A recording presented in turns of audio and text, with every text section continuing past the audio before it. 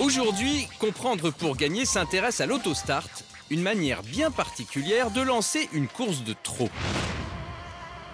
C'est l'autostart? Pardon Est-ce que c'est un départ à l'autostart? Ah ça non, tu vois, c'est même pas un start and stop, c'est une simple clé. En même temps, c'est pas un modèle très récent, je te le concède, hein, mais... euh, ah, Je te parle pas de ta voiture, je te parle de la course du jour. L'autostart? Qu'est-ce que c'est l'autostart? Ah, ben, c'est une voiture derrière laquelle vont s'élancer tous les trotteurs. Tu veux dire qu'il y a environ 18 chevaux qui s'élancent derrière 500 chevaux et qui finissent par les doubler? C'est à peu près ça, oui. Et tu comptes faire croire ça à qui? Allez, je rigole.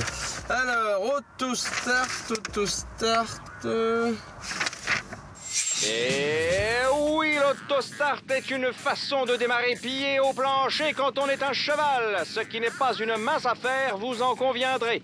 L'autostart est un mode de départ qui consiste à démarrer lancé derrière une voiture puissante et le plus souvent américaine. En voilà une façon bien étrange. Quel est donc son intérêt tous les chevaux sont-ils à l'aise derrière l'autostart Comment connaître les spécialistes de l'autostart avant de jouer Et surtout, quels sont les meilleurs numéros au départ Pour nous répondre, entraîneurs, journalistes, drivers et même le responsable de l'autostart en personne.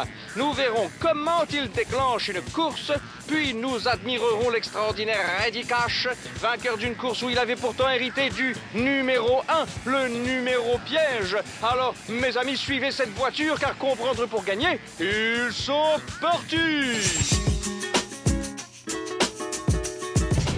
Il y a deux grands modes de départ en France. Le départ volté, comme ici, où les chevaux effectuent une volte avant de couper un faisceau laser. Et puis il y a l'autostart.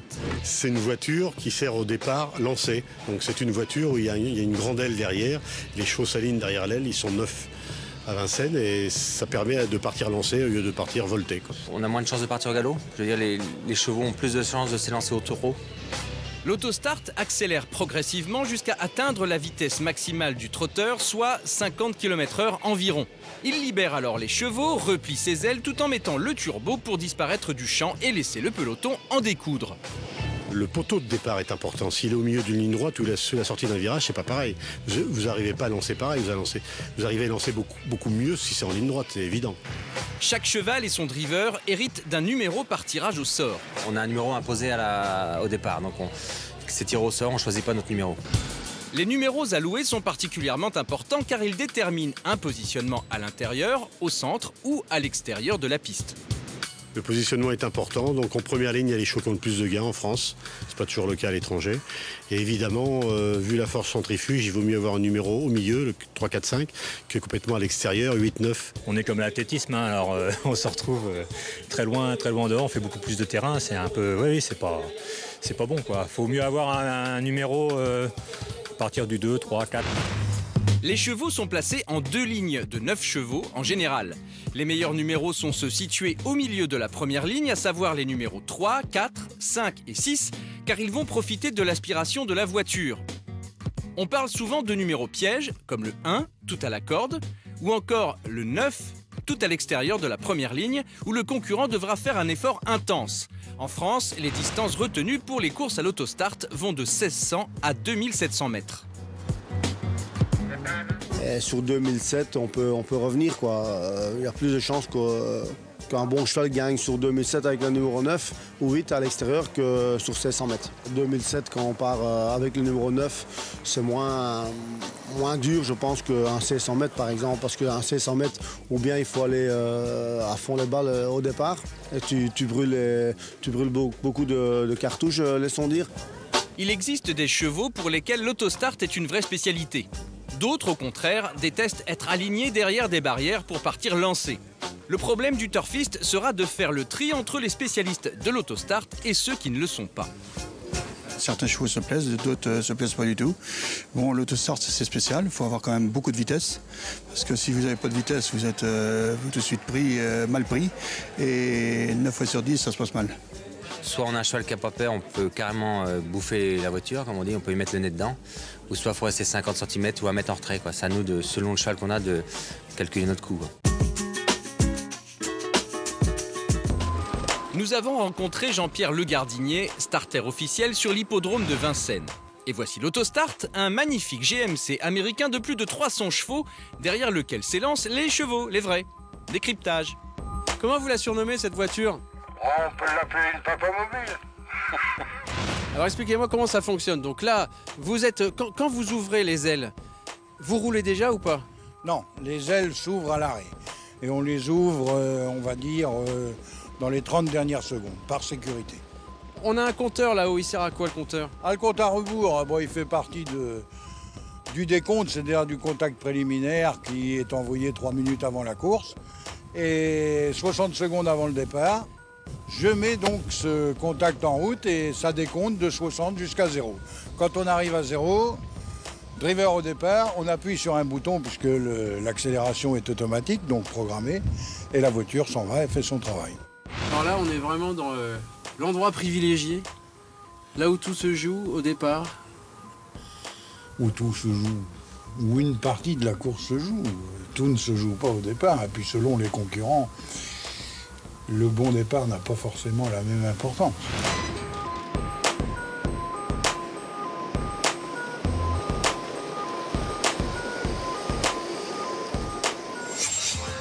Dis donc, ça a quand même l'air d'être dangereux l'autostart, hein Pas vraiment, pourquoi tu dis ça?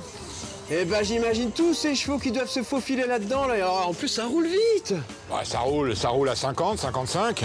Bah, évidemment que ça roule à 50, on est en ville. Tout le monde sait qu'il faut rouler à 50 en ville, il suffit d'avoir son permis. En même temps, c'est normal que tu trouves ça dangereux pour un cheval, parce que ce sont les grands boulevards que tu regardes là. L'autostart ne roule que sur un hippodrome, et l'hippodrome, c'est de l'autre côté, mon vieux. Ah oui. Ah oui. Le 30 décembre 2012, Reddy Cash et Franck Nivard s'élancent dans le prix de Bourgogne à Vincennes alors qu'ils ont hérité du numéro piège, le numéro 1, numéro qui n'avait jamais remporté cette épreuve. Oui, mais voilà, à Reddy Cash, rien d'impossible. Ce jour-là, Reddy Cash, euh, bah, il était très très fort. Quoi. Il, a, réussi à, à se mettre dans le rouge en partant. hein. Reddy Cash qui part bien, qui part remarquablement dans ce prix de Bourgogne. On est très bien parti avec Royal Dream, mais on est bien parti également à l'extérieur avec The Best Madrid en compagnie de Main Wisas qui est un peu repris euh, par Sébastien Erdo. Et finalement, Reddy Cash euh, garde l'avantage et accélère dans la descente. Et il a contré plusieurs fois. Et le champion est toujours devant, Reddy Cash qui contrôle. Accélération de Roxane Griff. Attention, Timoko également est sorti d'un seul coup. Eric Raffin n'a pas été très chanceux, il doit accélérer maintenant tout à l'extérieur. Il l'a fait, ouais, parce que bah, vous savez bien, hein, c'est un, cheval hors norme. L'accélération du champion qui se détache avec en deuxième position Timoko qui se donne à fond à l'extérieur avec Thiago Létan. Allez 100 mètres à parcourir. Oh là là, attention, il est sollicité. Reddy Cash qui essaie de repartir. Et Royal Dream, Royal Dream qui finit vite avec Timoko. Reddy Cash qui a peut-être gardé l'avantage. L'intérêt de l'autostart est souvent de permettre à un trotteur d'améliorer son record personnel, qui prendra toute son importance lors de sa future carrière de reproducteur. Le 11 février 2007, Cool Duco s'élance dans le Prix de France à Vincennes. Les Scandinaves sont très bien partis. Une Française est bien partie également, le numéro 5. Lady Dobrossi, Javadarch également, spécialiste de vitesse. Il y a eu beaucoup de rythme au début de parcours. Il y a eu Lady Dorossi qui était partie devant. Elle était descendue sur le pied de 4. Dans la descente, avec Lady Dobrossi qui se positionne au commandement, Sébastien Ernaud avec ici Franck Carrel à son sulky. Et derrière, c'est Javadarch et on n'essaye pas de soutenir la comparaison derrière. J'ai pas trop démarré, j'ai eu le bon parcours, ça s'est vraiment super bien passé. J'ai eu le dos de, du cheval à Jean-Michel Bazir, Kezako Fedo, qui m'a emmené sur un plateau. Kezato Fedo, le numéro 9, se détache, le gagnant du prix d'Amérique 2004, Jean-Michel Bazir, le rat de Bourg. Le 13 est en deuxième position. Couldico passe à la contre-attaque. Quand il a un parcours comme ça, il, sait finir vite. J'ai le parcours parfait pour lui. Quoi. Kezato Fedo attaqué par Coulduco. Franck Tivard finit à frein, il va gagner. Coulduco va battre Kezato Fedo. Coulduco, après sa deuxième place dans le prix d'Amérique, premier dans le prix de France. Cool Duco remporte le Prix de France en 1 minute 9 secondes 8 dixièmes, record de la piste à battre.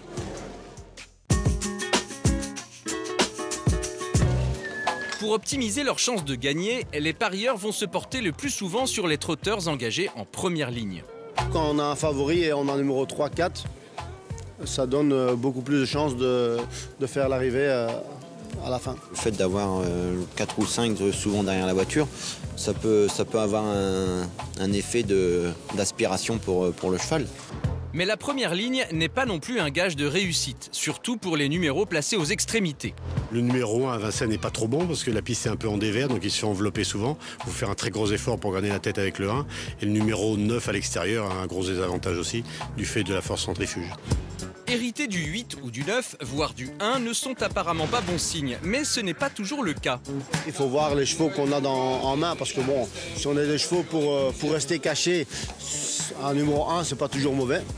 Euh, le numéro 8 et 9, c'est par contre, on ne va pas dire qu'on est mort, mais ça devient compliqué.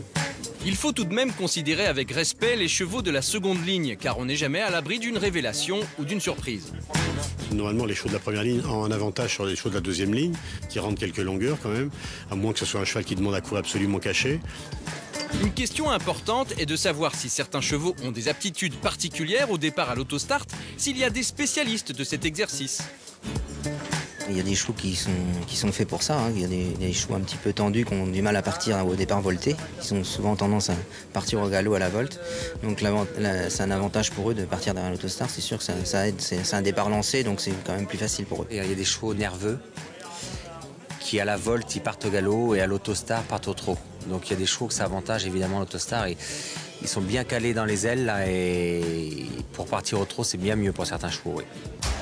Un trotteur apprend à s'élancer derrière l'autostart.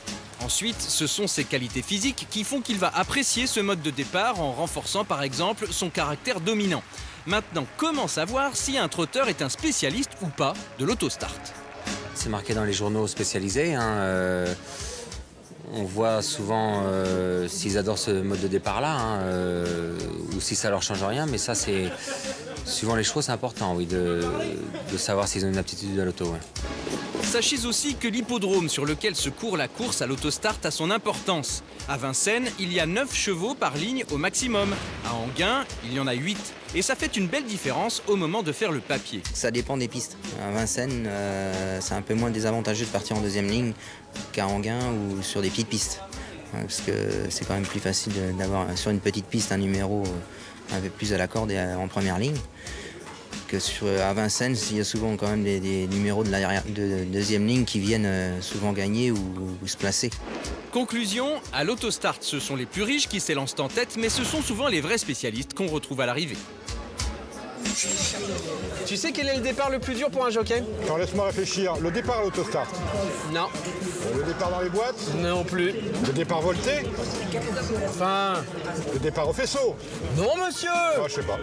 Le départ à la retraite. Il n'y a personne pour le dire, ça. Le départ à la retraite, c'est le départ le plus dur pour les jockeys. Tous partants, tous à l'arrivée.